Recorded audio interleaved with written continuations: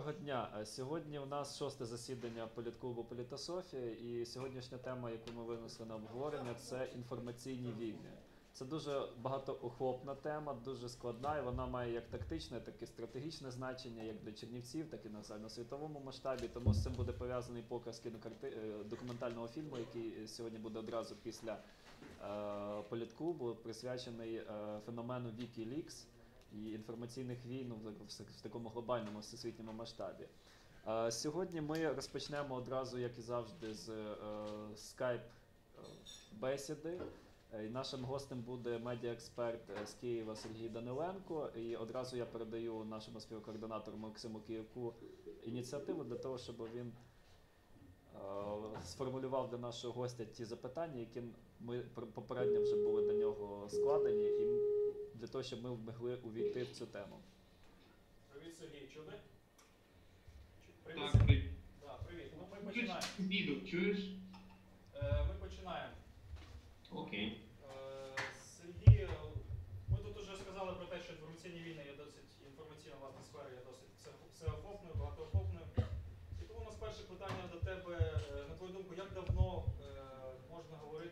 Наявність інформаційних воєн у світі? Наскільки давніми вони є? Ну, по-перше, давайте дамо визначення поняття інформаційна війна. Я би сказав, що інформаційна війна це намагання тиснути на супротивника без використання силових методів, тобто психологічних методів, без того, щоб фізично на нього якось впливати. І в цьому сенсі можна говорити про те, що там якісь окремі елементи інформаційних війн існували ще там, не знаю, ледь не в епоху первісного суспільства, коли, наприклад, е, е, при при війні різних племен люди розфарбовували себе в яскраві фарби, щоб таким чином давати е, психологічний тиск на свого супротивника. От. Ну але звичайно такого значного розмаху е, інформаційні війни набули лише в 20 столітті, можна говорити про початок 21 століття, коли вони стали таким е, самодостатнім феноменом. Коли лише за рахунок інформаційних ресурсів, лише за рахунок мережі інтернет, різні країни, організації, навіть іноді окремі індивіди намагаються виграти собі перевагу в тій чи іншій ситуації. Можна згадати, наприклад, Першу і Другу світову війну, коли противники не лише намагалися тиснути одне на одного там танками чи артилерією, але й активно, наприклад, розкидували радіопередавачі, щоб е, цивільне населення збирало ці радіопередавачі і приймало ворожами таким чином там більш якось прихильно ставлячись до ідей ворога. Ми пам'ятаємо добре, що розклеювали різні листівки, е, були цілі окремі відділи е, е, пропаганди е, в складі ну, військ і е, Радянського Союзу, і Сполучених Штатів, але все це відбувалося паралельно з військовими діями власне е, фізичного характеру на полі бою. От, якщо вже брати е, 90-ті роки і ось 2000-ні роки, то ми бачимо цілком, що ну, в новинах можна прочитати про е, американських е, хакерів, які атакують е, іранські ядерні об'єкти. Е, Тобто ніхто нікуди пішки не ходить, ніякі танки не засилає, просто сидить собі в комп'ютерному центрі, намагається зламати мережу ворога, вивести її з ладу і зупинити е, ядерну програму цілої іншої держави. Ось і я би сказав, що е, ймовірність дій на фізичному плані, тобто введення е, військ, е, щоб по вулицях прямо їздила бронетехніка чи е, там були якісь бомбардування, вони зараз мінімальні, тому що це елементарно невигідно. Все ведеться в сфері такій віртуальній, інформаційній, краще переконати ворога, деморалізувати його або влаштувати власне революцію всередині країни е, противника, так щоб там е, встановився дружній режим. Е, Дякую, Сергій. Ти, в принципі, вже відповів на моє друге запитання про роль інтернету в інформаційних війнах, тому я переходжу до наступного запитання. Ми сьогодні будемо дивитися фільм про е, Wikileaks, про Джуліана Асанжа. І на, на твою думку, е, Wikileaks все-таки була спеціальна інформаційна операція, чи що це таке було і що це власне є? На твою думку? Ну, власне, можемо об'єднати друге і третє питання. Е, Я коротко характеризую, чим може допомогти інтернет е, в інформаційних війнах. По-перше, це швидкість, швидкість передавання інформації. Ніколи в історії людства з такою швидкістю люди не могли координуватися між собою, збиратися в групи е, і організовувати свої дії. По-друге, це легкість роботи з інформацією.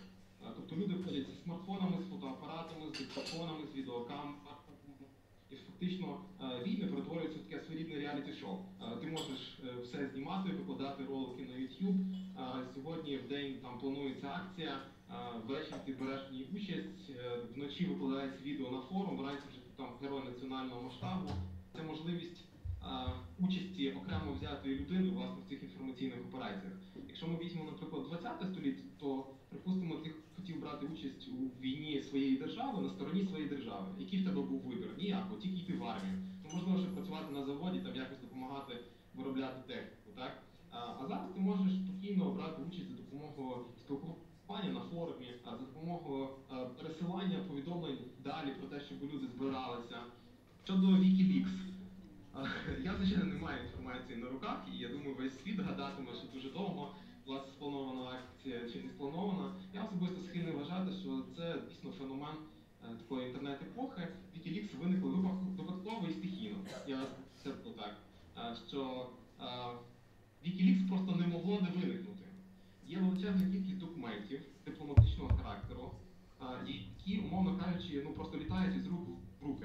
Е, Вони є на флешках переносяться, на приватних комп'ютерах, на жорстких дисках, е, десь зберігаються на форумах. Зрозуміло, що е, так званий лік, тобто витік інформації, він рано чи пізно е, міг статися. Було б дивно, якби він не стався.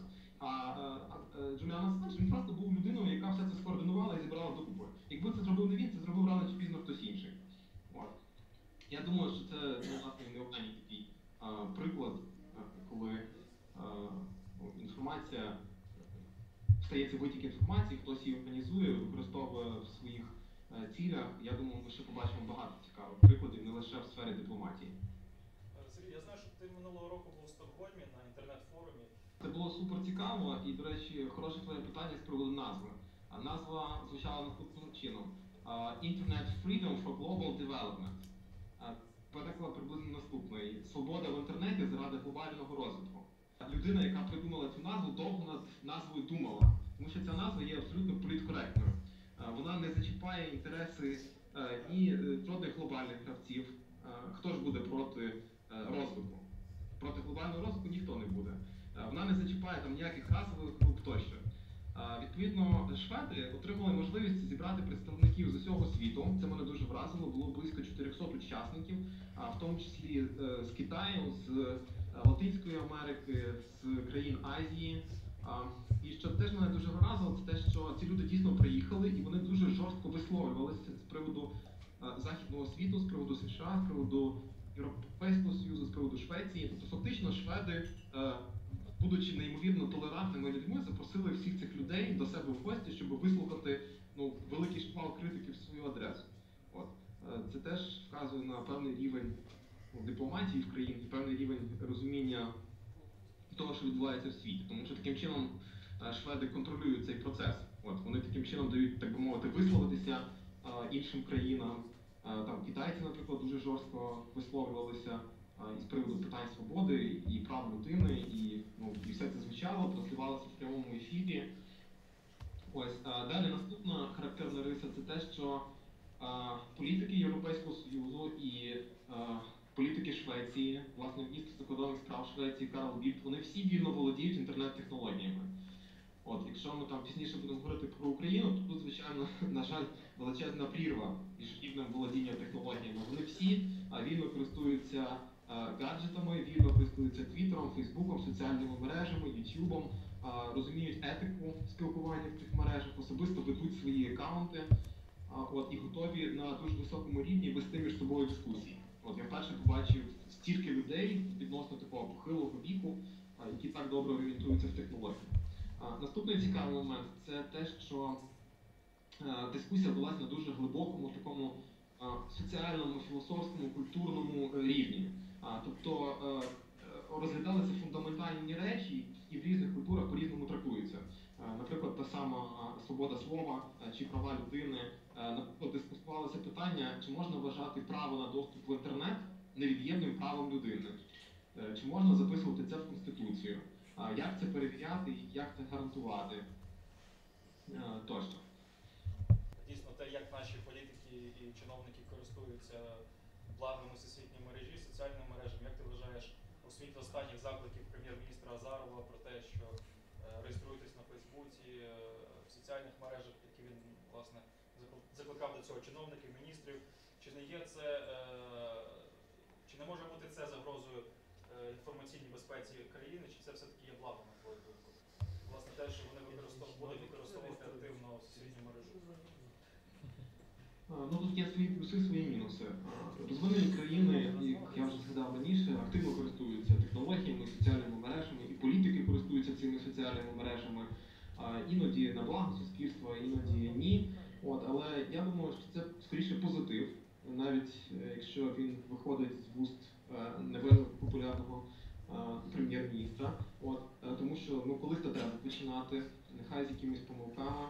От, але краще, коли люди можуть спілкуватися в інтернеті, нехай буде в тому самому Фейсбуці.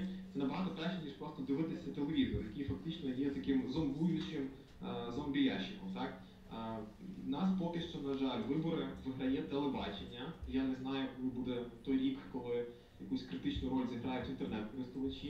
Е, Відповідно, і чиновники, і політики вони на інтернет оглядаються так рідко і не дуже активно. Їм головне контролювати телеефір, телепередачі, ось і тримати руку на пульсі суспільства через телебачення. А з інтернетом вони так експериментують, заграють потрошку, щось намагаються вивчати. Ось, можливо, в нас а, на наступних виборах президента нарешті буде перший інтернет-президент. Може і так буде, якщо людина вмітиме користуватися мережами. З мінусів, е, це звичайно те, що е, можна переслідувати людей, які щось не те пишуть в коментарях. От. А, Це перше, що приходить, спадає на думку. От. А, Хотів би ще згадати такий плюс, е, що в соціальних мережах працює правило е, crowd wisdom, те, що називають на заході, тобто мудрість натовпу. Це означає, що е, е, на відміну від телебачення, де люди відповіді ніяк не дадуть, вони собі дивляться трансляцію і потік інформації йде в один бік. То в інтернеті на форумах, соціальних мережах йде вільне спілкування, і там е, складно прикинутись кимось, ким ти не є. Там складно бути нещирим. Відповідно, в соціальних мережах виграють щирі політики, які дійсно можуть вести аргументовану дискусію, спілкуватися з людьми в коментарях, писати від першої особи, а не е, устами прес-секретаря щось там передавати. Це великий плюс. Я думаю, що тут інтернет і соціальні мережі вони в принципі здатні змінити політику ну, будь-якої країни краще. Я тут оптиміст. Е, Дуже дякую тобі, Сергій, за включення. Вітання тобі з Чернівців. Тримайся. Щасливо. Дякую тобі. На все добре. Ем, Отже, ми почули дуже багато цікавих е, моментів, і кожен з яких, звичайно, може далі дати старт нашій дискусії. Ну, По-перше, все-таки, е, мені здається, тут було дуже конструктивно вказано по, по визначенню інформаційних війн. В принципі, так чи інакше, коли ми говоримо про інформаційні війни, ми повинні розуміти, що вони дійсно мали місце завжди. От, наприклад, збір розвідувальної інформації це вже є форма інформаційної війни, і воно йде в комбінації не тільки звичайно військової розвідувальної інформації. Ми знаємо, що розвідки були свого часу і фінансові, економічні розвідки, і так далі. Вони функціонували ще з глибокого середньовіччя і навіть давніше. Тобто вивідування інформації воно завжди е, супроводжувало реальний сектор, і цей реальний сектор, так успіх у реальному секторі супроводжувався не тільки правильною інформаційною подачею, але й правильним збором інформації. Але фактично, якщо ми говоримо про те, що ми живемо в абсолютно віртуальному середовищі зараз, то звичайно інформаційні війни можуть повністю перейти і стати самодостатніми. Але в тому числі, ну, до речі, тут говорилася така теза про те, що можливо навіть без жодного пострілу. Ну мені здається, все таки трошки утопічно, тому що постріли будуть завжди. Без пострілів ніколи, на мою думку, не буде обходитися справа, і тут не, не треба якихось плекати особливих ілюзій. І е, в цьому аспекті е, особливо актуально те, як сучасний військово-промисловий комплекс, особливо західних країн, наскільки він зав'язаний на комп'ютерні технології, наскільки комп'ютеризується елементарно від е, снайперської гвинтівки і закінчуючи гелікоптерами, авіаносними ескадрами і так далі. Так далі. Тобто все це комп'ютеризується, але в той же час це абсолютно реальна зброя. І ця реальна зброя просто координується правильно при допомозі е, комп'ютерних мереж. Від цього вона водночас є вразливою. І я би хотів поставити одне питання все-таки так для обговорення. Е, Сум... Мене викликає сумнів теза про те, що якщо політики будуть у, мережах представлені, що це якимось чином суттєво під, підніме, підви, підвищить якість е, політиків як таких, і що вони будуть від цього щирими. От у мене це викликає питання. Я не впевнений, що політик у мережі, як блогер, наприклад, професійний, що він особливо може бути більш щирим, ніж у реальному житті. Симулювати щирість там так само можна абсолютно спокійно. Я думаю, це, це не є показник. І те, що ті чи інші політики, навіть похилого віку, десь у Швеції втягуються у Фейсбук і є активними користувачами, це говорить в тому числі про їхню слабкість. Тому що вони переходять на, на площадку, яка ними не контролюється фактично. І закони на цій площадці задаються не ними. І коли ми приймаємо, коли Азаров опиняється у Фейсбук, це перетворюється на комедію. Зрозуміло, що в іншому режимі він, він, він міг би вигравати. Так він приходить на ту площадку, де він завідомо буде програвати, і де е, технології він сам по собі не контролює, і він не розуміє цих правил і не знає, як там актуально діяти. І в цьому аспекті дуже пригадалося російський політолог свого часу просто так піною просто плювався, що як взагалі Медведєву допустили створення аккаунта в ЖЖ і перетворюють його, опускають статус президента до рівня якогось блогера. І йому доводиться читати якісь тисячі коментарів образливих персонально. Прес-служба це мусить затирати. І це просто б'є по іміджу президента. Він не повинен опускатися як людина, яка є гарантом конституції і так далі, глава держави. Він не повинен опускатися до якогось фейсбук аккаунта і так далі. І в цьому аспекті, звичайно, от є цікавими дискусії про те, що зараз, начебто, обговорюється про е, можливість створення офіційного аккаунту Віктора Януковича у Фейсбук. Це новина така була от недавно кілька днів тому обговорювалася. Ну розумієте, чим це все закінчиться, і я думаю, що тут не, не все настільки однозначно, і не завжди інформаційні технології несуть політику щось конструктивне. Це є в тому числі троянський кіт, яким можна руйнувати, е, зрозуміло, що і е, інформаційні держави, і політичні структури. Тому от я би хотів все-таки передати далі, щоб відступаючи від теорії, передати слово Михайлу Шмарновичу, який все-таки багато чому спонукав нас на, на цю тему. Дуже тяжке питання, якщо чесно. На нього відповідь. е, Я би взагалі в контексті інформаційних війн не говорив би про е, аккаунти політиків, тому що це настільки е, поверхово, настільки не суттєво, що воно до цього питання ну, глибинно не має ніякого відношення. Тобто це є практика, яка рутинна, повсякденна. І фактично я би все ж таки говорив про а нагадай питання, я відповім і тоді за- зі свого досвіду, власне, як часто ти зіштовхуєшся з такими речами, як інформаційна війна? Це реальність твоя, як, е, людина, яка працює політичних технологій? Ми стикаємося з таким з такою штукою, що 98-99% людей не розуміють того, що вони є об'єктами інформаційних воєн. І в цьому є головна їх конкурентна перевага воєн цих е, порівнюючи з воїнами фізичними, оскільки люди не розуміють, що є, є їхніми об'єктами. Коли там папуа зганяє там з, з бойовою розкраскою, то всі прекрасно розуміють, що він проти чогось воює. Коли створюються якісь інформаційні повідомлення, меседжі, е, ментальні якісь коди, нав'язуються нові стереотипи, то ніхто до цього якби е, не звикається. Вони просто стають повсякденністю, і ця повсякденність змінює людину е, без її на то відомої згоди. Я займу буквально деякий час, і в принципі це є той погляд, ну, він особистий, він більше, скажімо, є фактом того, що ми працювали. Я хотів би сказати е, ну, з практики, не стільки з практики, скільки осмислення того, що є. Осмислення того практики і осмислення тих, ну, тих дій, які проводяться в цьому інформаційному полі. Перше, в принципі, е, ми повинні говорити про того, хто споживає інформацію, про споживача. І тут я згадую фільм Матриця, який дає прекрасну ем, таку стартову позицію, на яку ми можемо опертися в питанні інформаційних воєн. Перше є пустеля реальності, тобто це щоденне життя, реальні вчинки людей і е, відсутність смислу як, як таку. Е, Це один рівень, на якому відбувається. Другий рівень це сама матриця, тобто індивідуальне сприйняття реальності через інформаційні потоки, світогляди, різні стереотипи і нав'язані смисли. І є ідеальний світ, це тобто е, ну, мрії, ідеї, е, воля інтелекту. Отут є питання в того, що від ідеального світу до пустелі реальності шлях інформації і є, скажімо, отією зброєю нового покоління. Тобто е, вони діють в двох системах координат: в природній системі координат і в штучній. Тобто алгоритм природного циркулювання відбулася якась подія, далі відбувся інформаційний дискурс, і після нього відбувається якийсь міф. ну, стається. Е, е, Оце є природний шлях і природний алгоритм створення інформації і будування. Є ще штучний алгоритм, алгоритм штучного циркулювання, так званий. Е, тобто спочатку йде міф, потім від нього йде інформаційний дискурс, потім якась подія. Е, наприклад, я просто приведу так, щоб було більш зрозуміло. Наприклад, штучне циркулювання це от у нас е, є певний міф, що є опозиція єдина. Е, Далі йде інформаційний дискурс, тобто їхні спільні заяви, єдине позиціонування. І далі відбувається якась подія.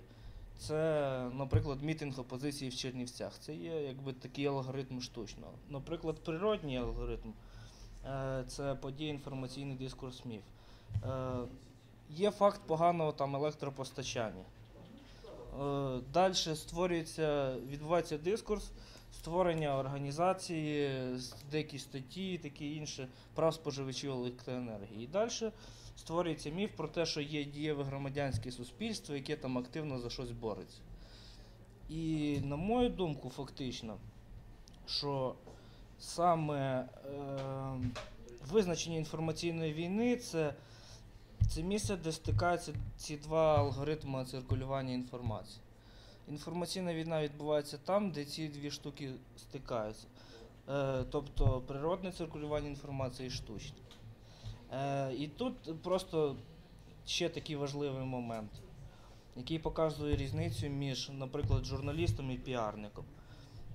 Журналісти обслуговують алгоритм природного циркулювання інформації, а піарники штучний алгоритм. І фактично, от на цій штуці можна і ловити, і показувати їм їхні моральні там якісь е, стереотипи. Е, ну, тобто не стереотипи, а от показувати їм їхнє місце. Якщо журналіст робить е, відповідно до того алгоритму, то в принципі можна вважати його вже піарником і не вважати журналістом. Е, далі я би хотів проговорити, я просто буду багато пропускати, щоб не затримати час. Я хотів би проговорити про суб'єкти та об'єкти інформаційних воєн. В принципі, є стратегічні гравці. Це національні держави з елітою, що усвідомлює себе частинкою цієї держави. Є олігархічні групи, що захищають свій економічний інтерес. Є інші держави, що прагнуть задоволити свої потреби за рахунок інших держав. І є наднаціональні корпорації, мотивації яких е, ми можемо обговорювати на наступних політклубах. Е, На рахунок об'єктів, то тут, в принципі, треба говорити про певне явище як трендмейкерство, тобто створення і управління громадянської думки, громадської думки. Об'єктами також є журналісти, е, якими маніпулюють їхніми особистими емоціями, їхніми поглядами. Ну і в принципі можна говорити про конкретних людей, яким створюють і знищують імідж за допомогою е, інформаційних технологій. Також е, інформаційні технології можна застосувати до будь-якої цільової групи. І основна штука в тому, що для цієї цільової групи після застосування інфотехнологій відбувається зміна правил діяльності групи. І тут такий маленький висновок, якщо цієї частини, що можливість вести інформаційну політику мають всі. А можливість вести інформаційні війни тільки стратегічні та ситуативні гравці.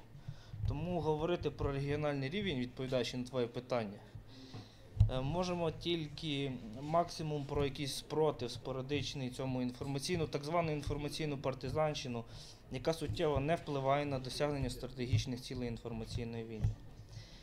Е, Тут я про меседж. Багато людей просто не знає, як, як його створюється. Я би хотів би це трошечки не для камер, я не буду це говорити. Про конструкцію, деконструкцію меседжу це не важливо. Я хотів би сказати, що ну це важливо, але я не хотів би говорити. У кожної людини є фільтри, які е, не дозволяють, скажімо, цій інформації проходити так безболезненно або попадати прямо в свідомість. Е, Це є індивідуальні та групові фільтри. Ем, Вони допомагають людині боротися з інформацією, так, ну, переключати канал на, на телебаченні, переривати процес отримання цих кодів, скажімо. Е, Групові фільтри утворюються під час самоусвідомлення людини е, як частини якоїсь спільноти. Тобто, чим більше людина себе асоціює з якоюсь спільнотою, тим більше вона захищена від зовнішніх інформаційних впливів. Е, Хоча тут теж є поле для маніпуляції, але я це опущу цей момент. Хоча він по суті важливий. Тобто, чим більше людина залучена в якісь групи, тим більше вона захищена від інформаційних. Як сказати, ну, від інформаційних атак і таке інше. Е, важлива штука теж, я пропущу тут багато, про цілі інформаційних воєн. Е, тактичних цілей може бути дуже багато, безліч. Але я хотів би зупинитися на стратегічних. Е, тобто, перша стратегічна, найголовніше, створення відповідної повістки дня. Ну, тобто, я не знаю, як це переводити на українську, повістка дня. Створення нового порядку денного, тобто вигідного для того, хто замовляє, наприклад, інформаційну атаку. Другим рівнем є формування нових стереотипів поведінки.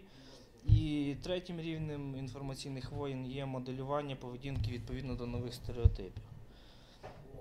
Е, А прямі інформаційні атаки, з якими ми частіше е, зустрічаємося і можемо їх ідентифікувати, е, вони мають на меті зробити інформаційну так звану настройку і е, як наслідок розбити всі офлайнові структури через знищення цієї інформаційної настройки, яка є над кожною офлайновою структурою, яка себе усвідомлює. Е, Фактично, якщо ми намалюємо собі піраміду побудовану там міністерство таке інше, вона завжди має цю інформаційну настройку. І вона, в принципі, в ієрархічних структурах маленька. Ієрархічної структури набагато, скажімо, має більше е, можливостей це зробити, ніж знову ж таки говоримо про те, що ну, е, пряме лобова атака. Тобто, е, це теж повертаючись до Пілєвіна, це свого роду якесь бойове НЛП.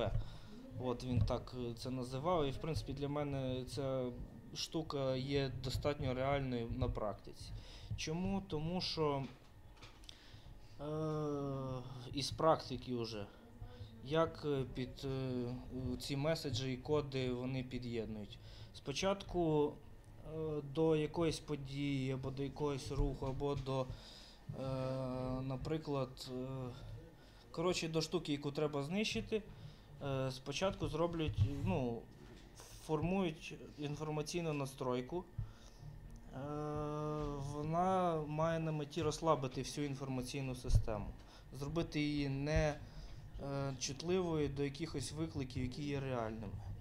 Е, Другим пунктом є приєднання свого дискурсу, тобто необхідного е, якусь таку свою думку, яка буде центральною, скажімо, по відношенню до цього об'єкту.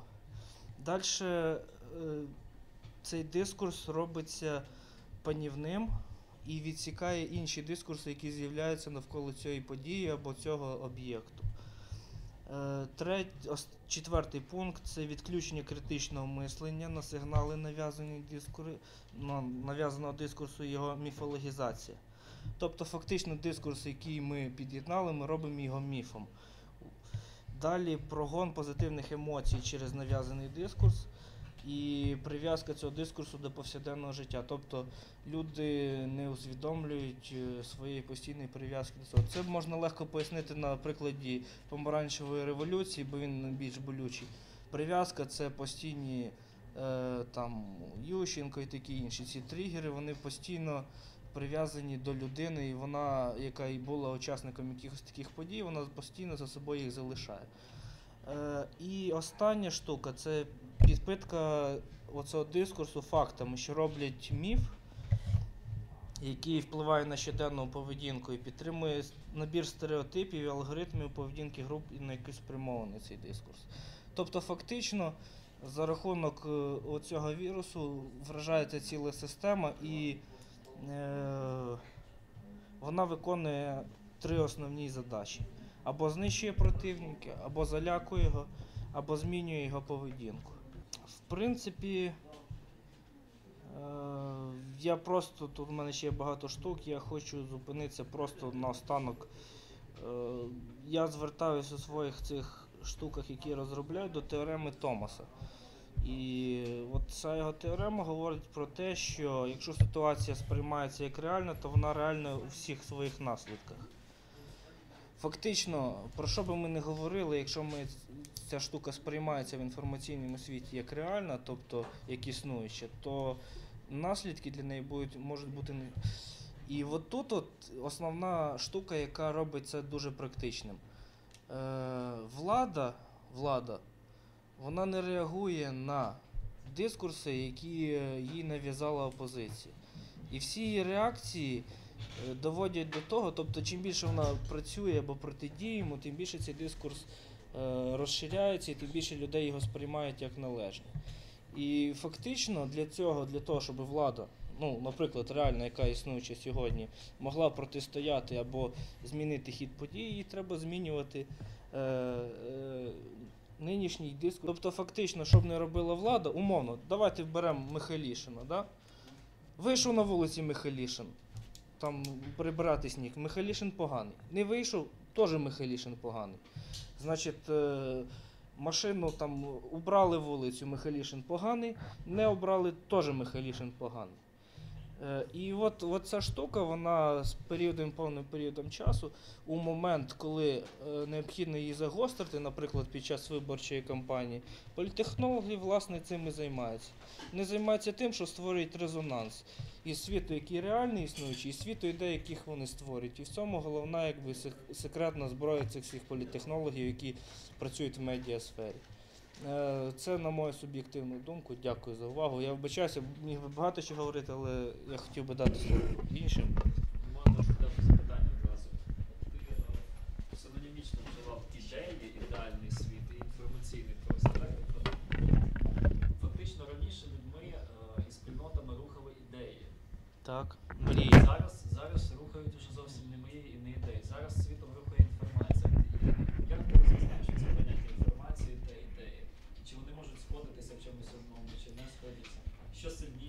Я ще виділив одну таку штуку, як воля інтелекту.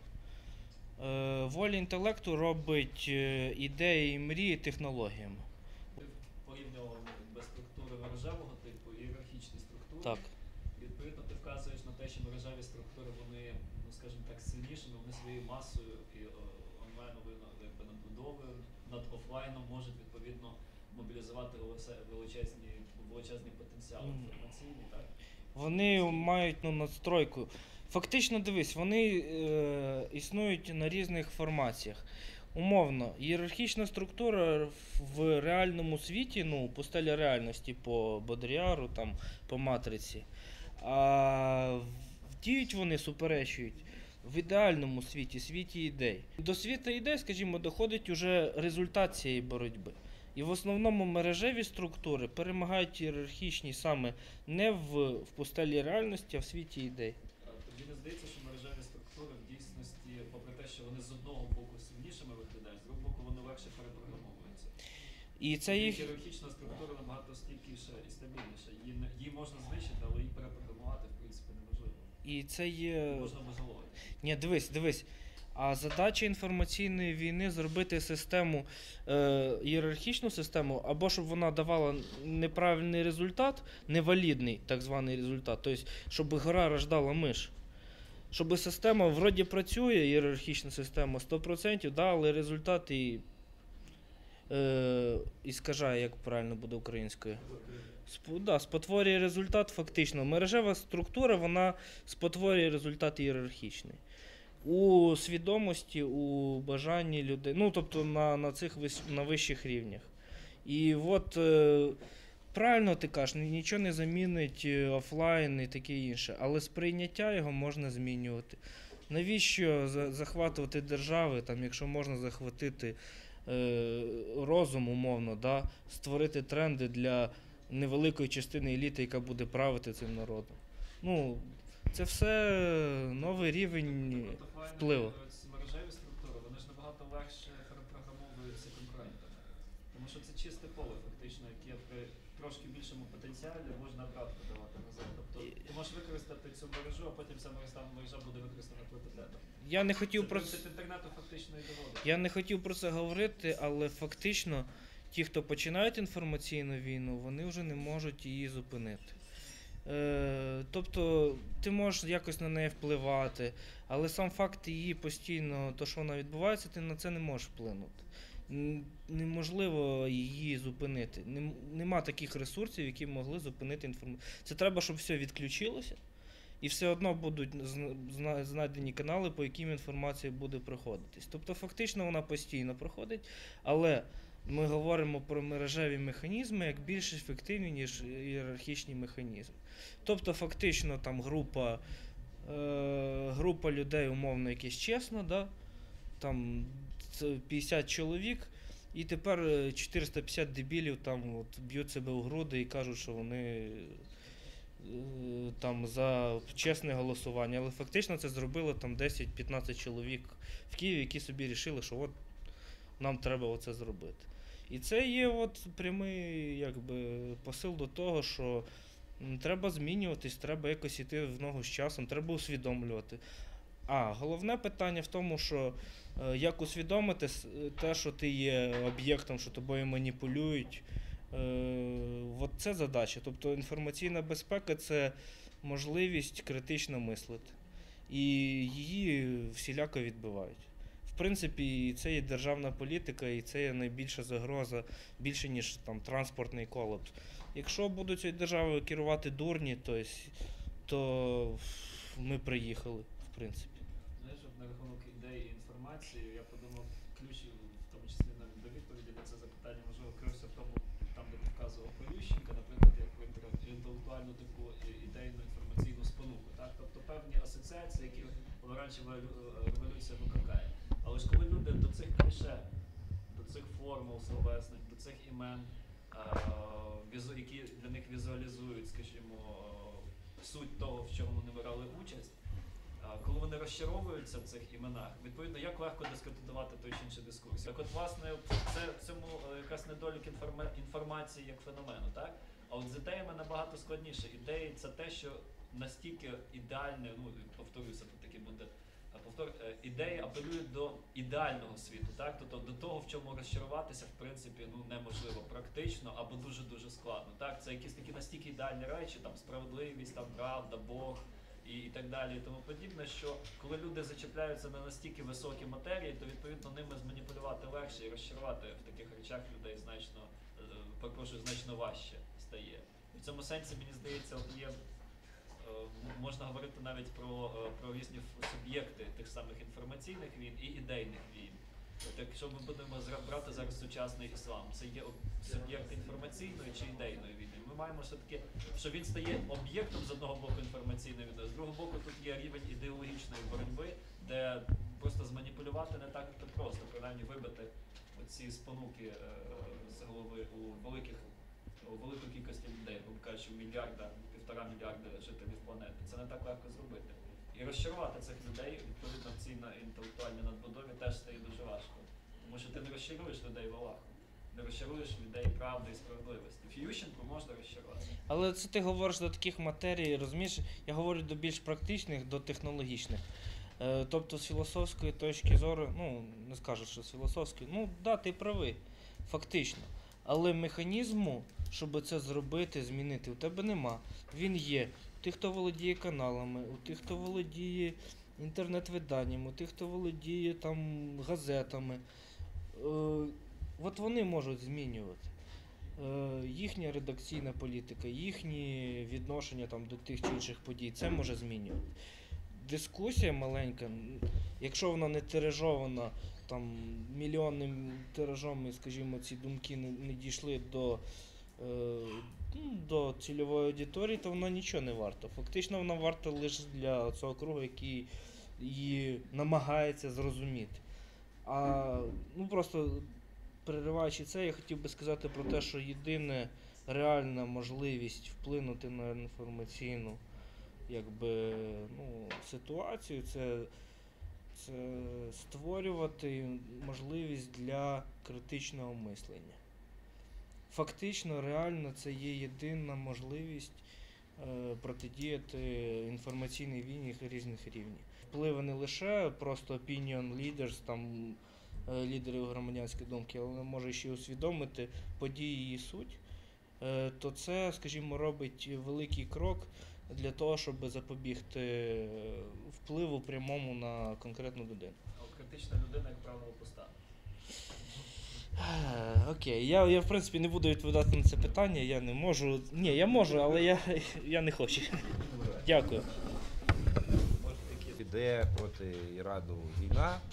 Ем, але у чому, е, ну от, що важко? Чому настільки Іран е, в такий міцний? А, через те, що до е, ісламістів або там до, до тих, хто зараз там при владі, е, скажімо, елементи, які були при владі, вони були ще більш е, регресивні. Ну, скажімо так, з точки зору е, лібералізму, бо навіть з точки зору економічного прогресу. І е, більшість в Ірані все-таки сприймає е, свою цю владу, вона не є недемократична, тому що у них є вибори. На них е, одні програють, інші перемагають і так далі. Тобто тут раз і не можна е, в іранській ситуації е, пропаганді зовнішній не вдається зробити чорно-білу картину. Це раз. Коли це не вдається, вже починається інша гра абсолютно. Але от як, як зростає тиск? От виходить, наприклад, в книга вийшла в Британії, яку миттєво всі переклали, там час зраджувати. Значить, це про е, втікача теж там з Ірану, от, який був е, політиком, ну не політиком, таким бюрократом іранським, е, досить високим посадовцем. Як реагує одразу, наприклад, Російська Федерація, яка є, ну так чи інакше є союзник Ірану? Хто пише до російського перекладу е, цієї книги? А хто пише е, передмову? Михайло Леонтів. тобто абсолютно переставляючи акценти з того, що там е, робиться. Е, далі, наприклад, е, де інформаційна е, робота, де вона, е, ну, ну, скажімо так, незамінна. З тим же Іраном, ну, наприклад, е, нема чітких е, свідч... ну, нема чіткої інформації, чи справді ця країна має ядерну зброю. Відповідно, е, військова інтервенція вона аж задуже і, дорога, і ризикована. Там 77 мільйонів населення. Але от коли так і завалиться е, в Ірані е, їхня нинішня система урядування, не буде зрозуміло, що справді спрацювало: чи інформаційний тиск на Іран, чи режим санкцій, який зараз призвів до гіперінфляції от, у незважаючи на нафту, газ і так далі. Тобто е, дуже добре працювати в сфері інформаційних війн, тому що завжди е, щось е, трапляється, що можна видати за успіх, за успіх тієї чи іншої інформоперації. От. А ще до Сполучених Штатів, от зараз, от, щоб ми, от не всі багато не знають, да, що коли вони дивляться новини там з Мирославою Гаргадзе, Voice of America, що Голос Америки не показується. Ця вся, вся, все, що належить. Е, належить. Оце Голос Америки, канал, радіо. Вони не транслюються на території США, це заборонено законом. Тому що е, держава, тобто та адміністрація, в чому все суть цього закону? Чому вся індустрія, оця зовнішня, вона транслюється? Що партія, яка при владі, отримувала би незаконні переваги таким чином, маючи такий пропагандистський апарат. Е, Зараз воно навіть юсіани називається. Це от ще в 90-ті називалося. Інформаційна війна, тобто все це кілерство і так далі. От зараз якраз да, на, на днях, на днях е, е, тим чи іншим шляхом з життя пішов Борис Березовський. Да? Але якщо ми згадаємо, то не Березовський почав, власне. Якраз у його конкурента Гусинського, да, і він перший зробив з телеканалів таку справді зброю. До того така зброя на нашій території була в руках лише у держави, яка ж власне сама е, за Михайла Горбачова почала розвалювати ну, себе, скажімо, свою ту, е, тобто передачі, як прожектор перестройки, взгляд і так далі. Вони ж санкціонувалися Яковлевим, який був е, секретар ЗДУ. Ну, я там точно пам'ятаю, як його посаду. назвав.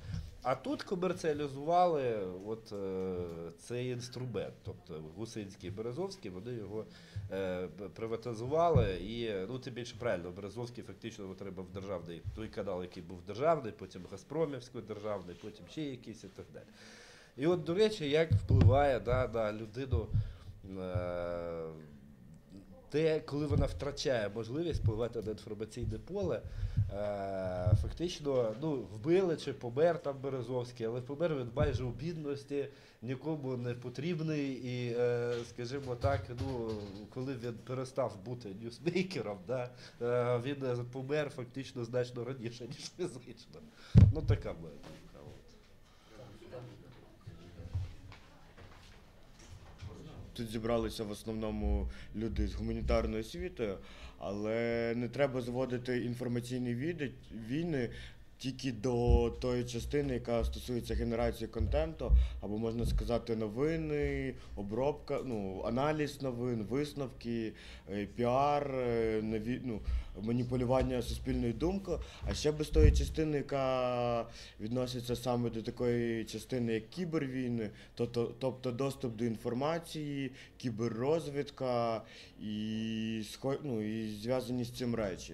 Тобто треба розуміти, що техніка дійшла до таких е, речей, е, до дуже великих успіхів, і зараз. е, Дуже сильно розвивається, і зараз появились такі речі, як, наприклад, кібер шпіонаж, який дозволяє фактично зовсім з іншої частини світу доступитися до даних, е, при тому, що власник цих даних не буде знати і використати їх в своїх цілях. Е, Також е, новітні технології дозволяють проаналізувати вчинки людей, що вони роблять. Тобто новітні технології дозволяють проаналізувати, що люди роблять, коли, які їхні вподобання. Тобто зараз вже фактично великі корпорації знають, що ми думаємо, чому ми думаємо, можуть це аналізувати, можуть побудувати моделі. То можуть побудувати моделі, що, чому і як. Для прикладу, е, була гарна стаття на текстах, чому виграв саме Обама. В них був дуже великий програмістський. Е, Така команда, програмістська команда, яка аналізувала виборців, чому виборці голосують е, за певного кандидата, на яких виборців треба звертати увагу, які вагаються, як на них маніп... як на них впливати і так далі. І також зараз постає таке поняття, як е, інтернет-захищеність, або як себе захистити, доступ, тобто, щоб до тебе. Е, Ну, щоб тебе не підслухали, не прослухали, не заразили твій комп'ютер е, певними вірусами. Тобто, щоб ми звертали увагу не, тільки на медійну частину, але й на технічну. І що потрібно це у зв'язці.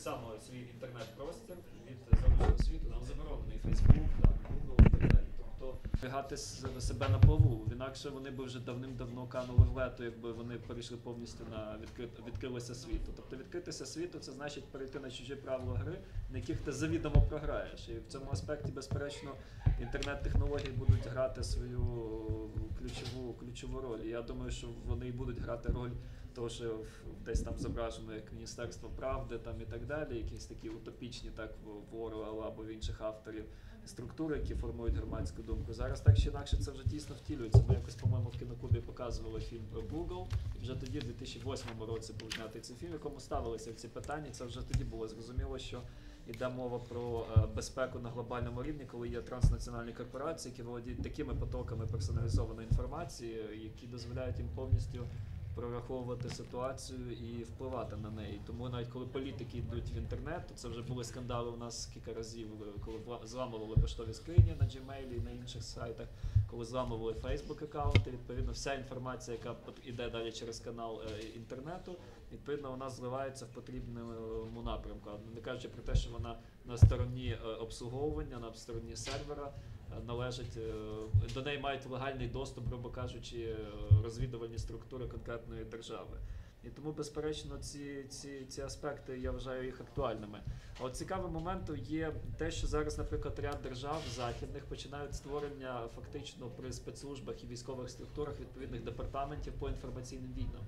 В Австралії там є, і я читав свого часу, яким чином ця, е, ці речі підтримуються при допомозі фільтру не, неофіційних, там напівнеофіційних громадських організацій, зокрема в Ізраїлі, як Ізраїль дуже активно провадить кампанію у всьому світі з лобіювання своїх інтересів, в тому числі. Ізраїльські студенти мають можливість досить великі гроші заробляти, офіційно виступаючи коментаторами на різних світових вебсайтах, витримуючи офіційну позицію Ізраїлю і ізраїльського народу. З другого боку, вичисляти так званих антисемітів і відповідно влаштовувати проти них акції, скажімо, або, по-перше, писати заяви в відповідні структури, ну і плюс влаштовувати акції з блокування чи сайтів, чи досатак на сайти, чи просто коментування проти цих людей. Тобто, якщо, скажімо, на якомусь великому вебсайті десь хтось негативно висловлюється про ізраїльську кампанію в Палестині, зразу з'являється маса реальних ізраїльських громадян, які, отримуючи за це гроші, до речі, від неурядових організацій, починають Ми прокоментувати. Інформаційні війни, інформаційну політику. Ти зараз говориш про конкретний приклад хорошої інформаційної політики. Це пов'язані речі. Це Давай, давай, давай тоді уточни. Мені цікава твоя думка, щоб ти о, чіт, чіт, чітко розвів ці поняття. війни це є три різних поняття. Інформаційна безпека і це зараз. Про що ми говорили зараз? Ми почали з безпеки, потім перейшли до впливу, а потім до війни почали заперечувати. Ми почали з австралійських. Ти говор... Ми говорили про інформаційну політику, я, я забув. Інформаційна політика це система, е, алгоритм певний, певний алгоритм, який задає меседжі з відповідними темами. Тобто є певне стратегування, під яке відбудовуватися тактична поведінка. Ти можеш її зробити завдяки якимось засобам інформації, які тобі належать або які тобі не належать. Коли ти починаєш робити цей вплив, це інформаційний вплив. Е, якщо ти е, маєш стратегію, це є інформаційна політика. Якщо ти ціленаправленно впливаєш на якусь на якийсь суб'єкт, це вже є інформаційна війна. От Ну, наприклад, коли працюють проти конкретно Обами в його політичній кампанії з мирного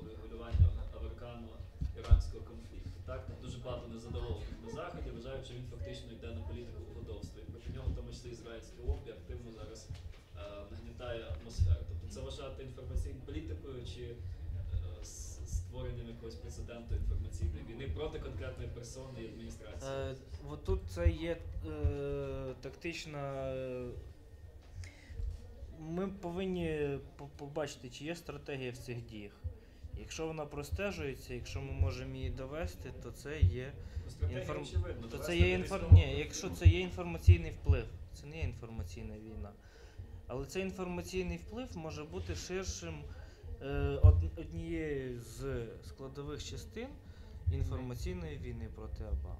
створення такої ситуації, в якій Ізраїль міг би нанести ракетні удари по Ірану. Так, для цього треба створити відповідну артпідготовку інформаційну, провести дискредитувати Сполучені Штати, які зараз на, на, на цю позицію не Правильно, ми стратегічно це говоримо. Ми бачимо, що це є частинкою якоїсь спланованої цього. Якщо ти би міг спрогнозувати наступний умовно їх крок в цій системі координат, тоді це ми можемо говорити про те, що є інформаційна війна, проти неї можна відбудовувати якісь інформаційні захисні механізми.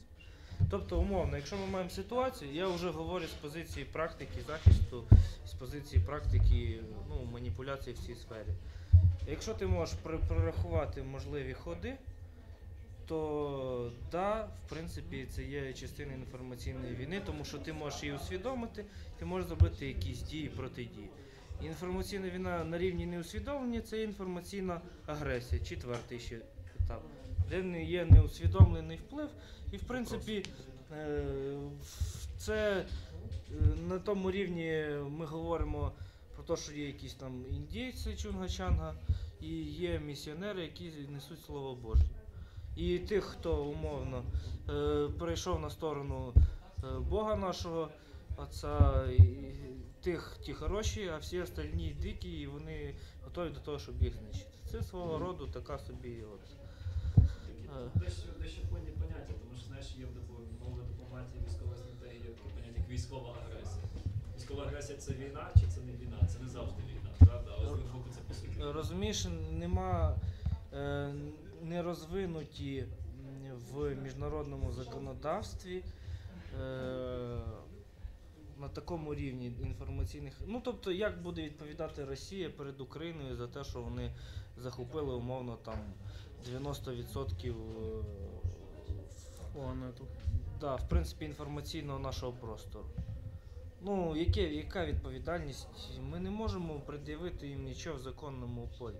Ми можемо говорити про те, про що говорив е, покійний Ільєнко, про інформаційний український джихад, да, про те, що українські ми повинні.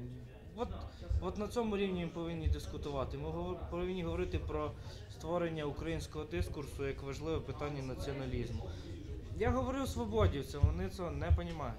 Якщо не буде українського дискурсу, то їх не буде. Так само для партії удар. Якщо не буде дискурсу, який е, відповідає е, там лідеру їхньому або умовно там тому, яких є більшість їхнього керівництва, то вони пропадуть з часом. Партія регіонів з цим набагато легше. бо Вони приєднуються до будь-якої дискурсу, тому що це є партія, партія, яка як тобі сказати, яка постійно. Ну, вони, вони перетікають, вони перетікають з одної штуки в другу. Вони найбільш мобільні, вони найбільш, е, як тобі сказати, ці люди вони найбільш пристосовані до життя. Вони пристосовані до майбутніх інформаційних впливів, тому що вони під них підстроюються. Розумієш, вони їх не створюють, а вони під них підстроюються. І оце є головна проблема, про яку це. Про те, що треба будувати свій дискурс, да? або підстроюватись під дискурс чужий. Якщо ми підстроїмося під чужий дискурс, то це є реакція на інформаційний вплив. Якщо ми створюємо світ, це є інформаційна війна. І якими методами влада буде з нею боротися? Ну, з інформаційним впливом, це питання до влади. Е, Я не бачу жодної еліти, яка би поставила і сказала, от це наша територія, це наша, е, і ми з нею її імеємо. Якби це наша коза, і ми її доїмо. Хто перший це зробить, це буде найбільш е, крутим і найбільш авторитетним з часів, не знаю, там Володимира Великого правителя цієї держави.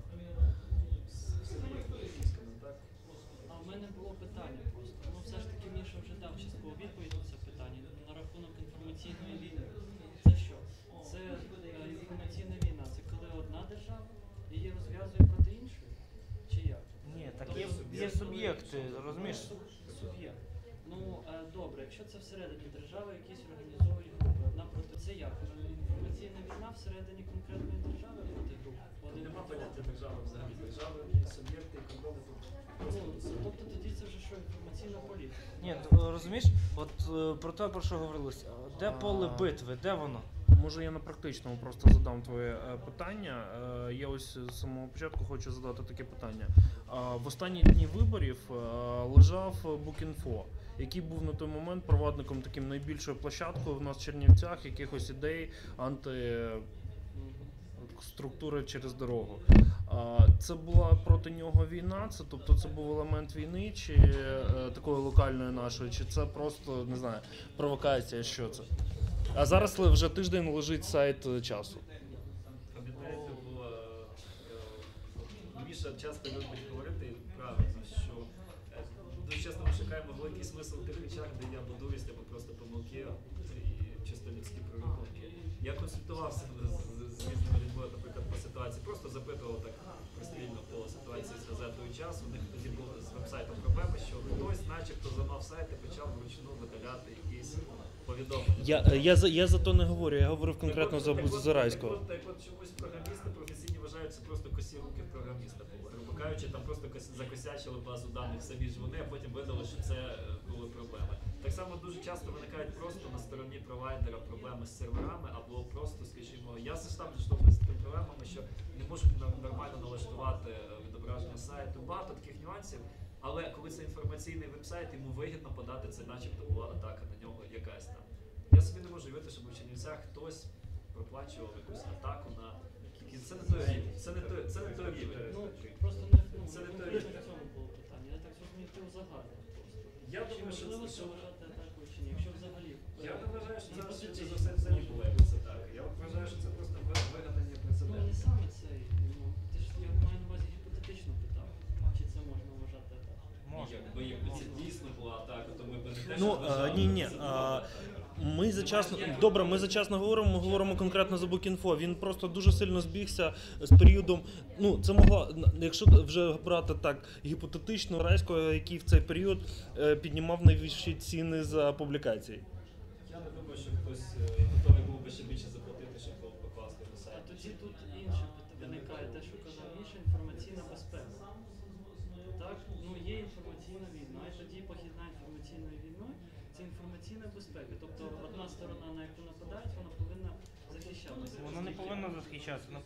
усвідомити. Чим більше буде дивіться, коли йде мова про такі речі, то потім жертва може пред'являти ті чи інші докази.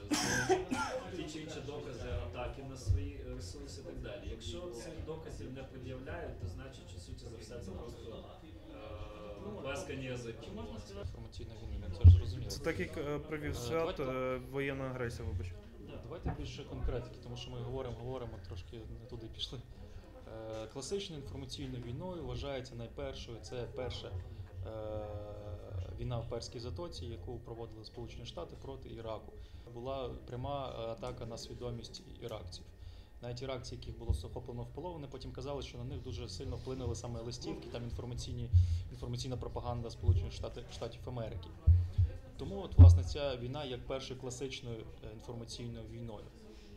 Добре, що Іван він правда десь пішов. Добре, що Іван підняв інше питання кібернетичну безпеку, кібернетичні війни. Е, Це ще один аспект, який тільки підтверджує, що саме поняття інформаційної війни є надзвичайно надзвичайно розлогим і багатоаспектним.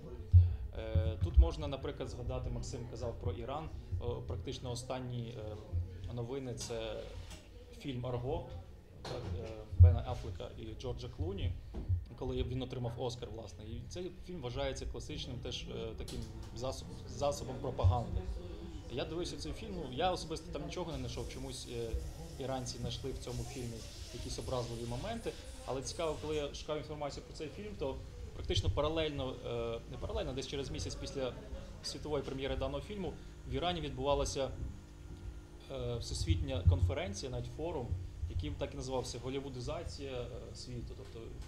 Якраз була конференція направлена проти Голівуду, і начебто Голівуд звинувачував які, якісь там надмірні пропаганді і таке інше. Е, Відтак можна говорити і про кіно як певний такий момент пропаганди інформаційної війни. Можемо згадати, якщо брати наш е, контекст, то можемо згадати фільм Тарас Бульба. Е, Можна згадати ну, Вогнем і мечем. Ну, вогнем і мечем менш можливо. І тут такий момент, про який всі забули сказати, це те, що інформаційні війни є асиметричними. Тобто е, вплив інформаційних воєн є асиметричним. Е, Наприклад, е, згадайте ляльку Гітлера, колись нашуміло десь років 5-6. е, Що начебто хтось знайшов на Андрійському звозі ляльку Гітлера, і там такий скандал роздули проти України, що просто важко уявити. Прямі замовлення російські були, я ж раптом досить скажу. Чіткі і ясні. Та, або е, історія, може інший приклад показати, це операція ТЕТ у В'єтнамі, 1967 рік, так звана операція ТЕТ. Е, коли по суті завдяки цій операції В'єт- В'єтнам багато в чому не програв війну з Сполученими Штатами. Е, тоді е, було захоплено в'єтнамцями, власне, вояками В'єтконгу було захоплено посольство Сполучених Штатів. Цю подію було показано по телебаченню. Цю подію побачили в Штатах. Американці були просто шоковані, як можна, як можуть їхнє посольство хтось захопити. І так почались демонстрації саме в Сполучених Штатах. Е, Це все співпало в часі із тим, що Лінон Джонсон програв вибори е, президентські, і таким чином війну е, в В'єтнамі було все таки призупинено. От наскільки ця одна така подія. Ніксон прав. Наскільки ця одна подія може вплинути на власне взагалі перебіг, е, перебіг подій? Е, ти казав про е, про те, що в інформаційній війні дуже є важливим е, значить, рівень освіченості, правильно? Критичного мислення. Критичне мислення. Е, я би можливо додав, мені здається, що от Ну, розумієш, дивись, тут в чому критичне мислення. Іноді дядько з двома класами освіти, він має рівень критичного мислення набагато більший, ніж умовно там професор, доктор наук чи. Тут говориться про те, що він е, сам створює ці захисні механізми. Тобто найвищий рівень людини в сучасному світі це самостійне створення бар'єрів для інформаційних агресій будь-якого. І на це має бути направлення навчання умовно в школі. Тобто, якщо просто зараз не вкласти такий рівень інформації, а можливість людини створювати бар'єри в цьому світі інформаційному. Тим більше постмодерний час це взагалі жесть, що буде творитися далі. Навіть ніхто не може, навіть страшно подумати. І я би хотів від себе, можливо, такий е, рецепт дати. Мені здається, що вже підійшов час до того, щоб потихеньку створювати якийсь паралельний інформаційний простір, е, окремий від мейнстрімового простору. От, наприклад, от навіть от е, політклуб є так само, я думаю, якоюсь такою крихтою, якимось камінчиком от, от, цього паралельного інформаційного простору. Е, я думаю, що от одним із завданням політклубу є власне пропагування чи критичне мислення, про яке, про яке ти казав. Е, Тобто відхід від цього е, такого е, прямолінійного мислення, яке нам дійсно диктує мейнстрім, мейнстрімний інформаційний простір. І це, власне, спонука, як сказав Святослав, спонука до якогось більш ширшого і глибшого осмислення речей у світі. Я думаю, що це мною погодиться, що це десь така одна із місій політклубу, і в тому числі і інших заходів.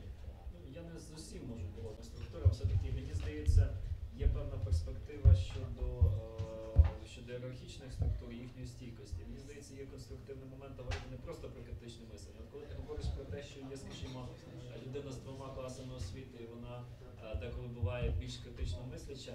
Це не значить, чи ця людина не позбавлена якихось власних фільтрів. І ці фільтри, про які ти говориш, ці фільтри вони теж є формою її програмування. Вона запрограмована так само, тільки простіше, можливо, простішими якимись кліше, але вона теж запрограмована. Справді критичною мислячою людиною може бути тільки абсолютно пуста людина, яка ніякими фільтрами не прошита.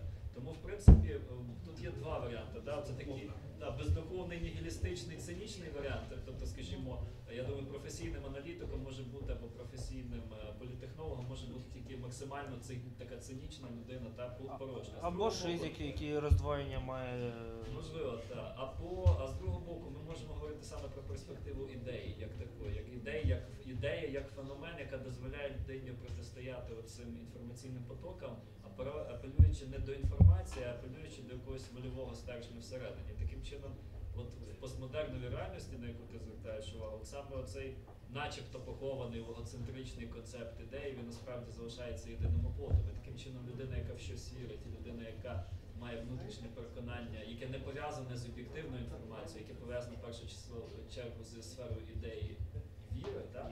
От саме тоді ця людина може об'єктивно протистояти, виступати потім суб'єктом протистояння от, от, в цій дійсності. Вона по великому не заторкується так легко інформаційними війнами. Ну, заторкується в значній мірі, але не настільки якось інші. Тут уже так реверсом пустити потік стає набагато складніше. Просто ми доходимо до такої штуки, що ми не можемо впливати на їх кількість. І коли от, е, кількість е, цілеспрямованих інформаційних впливів досягає своєї критичної маси, наприклад, під час виборів, то ми можемо наблюдати певне таку дебілізацію людей і зараження їх самими дебільними думками, які можуть бути зовсім паралельними від того, як їх програмували е, ті, хто за- замовляли статтею інформаційної війни. Тобто, фактично, ми виходимо на такий рівень, що для ефективного проведення інформаційної кампанії, інформаційного впливу, необхідна дуже чітка цільова група. Якщо ця цільова група розмита, то результати ти не можеш контролювати. Чим я це можу довести? Це якраз є приклад е, помаранчевої революції, якщо говорити е, про неконтрольованість в позитивному смислі. А про цільову групу конкретно можна привести приклад е, виборів 2010 року в Одесі, де Льоша Дурнєв ходив за одним із кандидатів і нав'язував йому стереотип, що він е, мажор, Ну, ходив на всі зустрічі, в принципі, як ми бачимо і зараз з Арсенієм Петровичем. Ця технологія відкаталася в 2010 році, і в принципі вона нав'язана для того, щоб зробити е, всі смисли, які породжуються цими великими акціями, звести їх до условно якоїсь одної дії, де він йому там подарував морку. І Ще як- ця акція був приклад, коли одного з кандидатів обізвали, і після цього Да. це закріпилося, і це потім повторювало кілька разів в різних акціях.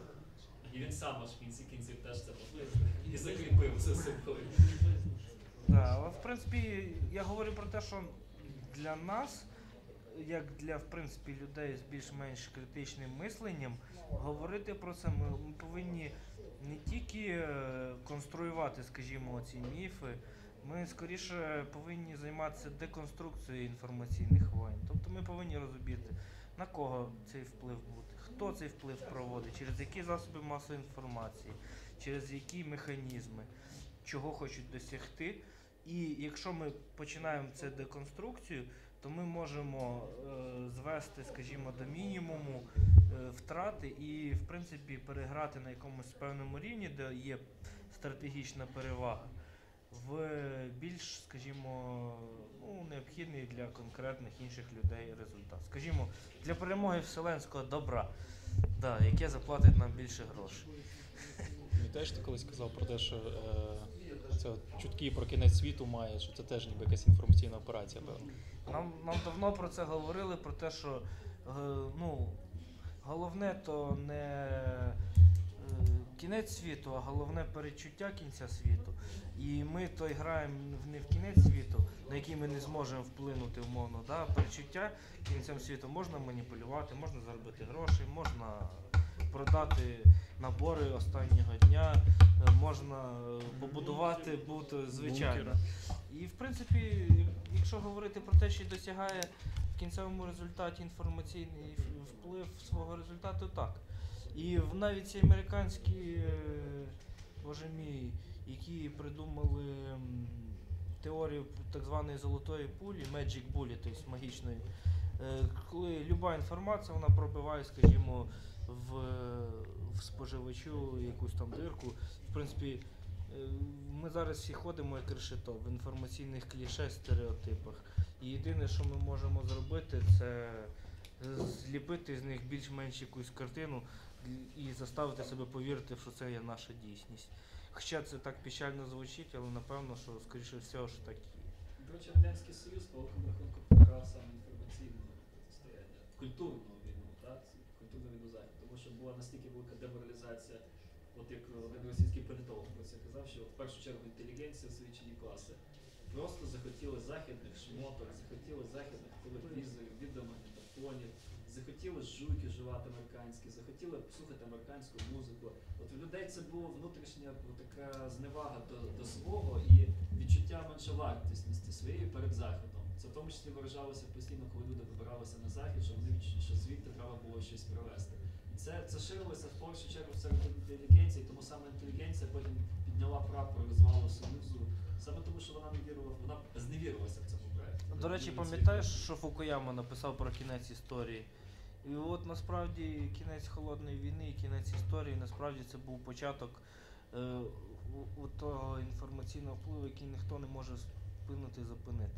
І коли Фукуяма говорив, що це кінець історії, перемога ліберальних умовних якихось там цінностей, да, то це е, насправді був кроком в такий великий хаос, із якого тільки ті, хто розуміють, як цими алгоритмами правильно маніпулювати, отримують якісь реальні економічні бариші. І виходить так, що для того, щоб мати якесь багатство, вже недостатньо просто бути крутим бандюком. Треба ще наняти піар-менеджера, який зробить з твого, вибачте, накраденого чесно зароблене і з тебе не бандитом зробить, а Бізнесмен. да, Благодійник. Да, господарником, як, як, як найменше крити, класним господарником, простим, близьким до людей. І от ми можемо тільки конструювати якісь, е, скажімо, свої маленькі якісь інформаційні впливи на рівні умовно блогерства, умовно якихось власних думок. Але по суті ми тільки підсилюємо тих, хто має реальний ресурс. чим більше буде цього мейнстріму, чим більше буде обговорення, тим більше буде реального впливу тих, хто має механізм, змінити цей тренд на той, який необхідний їм. І фактично, чим би ми не тішили себе в тому, що ми умовно там якось на якусь частину людей впливаємо, так ми впливаємо е, на, на 10%, а на 90% впливає той мейнстрім, який проходить з нами разом. Ми відкриваємо двері, але в них вступає вже хтось інший. І в принципі, якщо говорити про інформаційні війни, то вони як е, пригати через умовно через пропасть якусь там. Ти можеш на 99% її перепригнути да, і звалитися вниз. Тому що в цих штуках стратегічних треба йти до кінця, добиватися кінцевої стратегічної мети. Тільки заради того, щоб в кінці поставити іншу мету.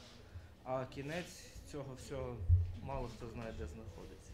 Я думаю, що все-таки треба заходити Михайло, щоб він все-таки зробив якусь лекцію, можливо, наступного разу, можливо, через раз, можливо, щось спеціально, або якийсь семінар на цю тему, тому що я думаю, тут є багато саме прикладних практичних аспектів, які було би цікаво проговорити, можливо, навіть на прикладі е, інформаційної політики конкретного регіону, окремого взятого міста. Так, тобто є тут дуже багато моментів.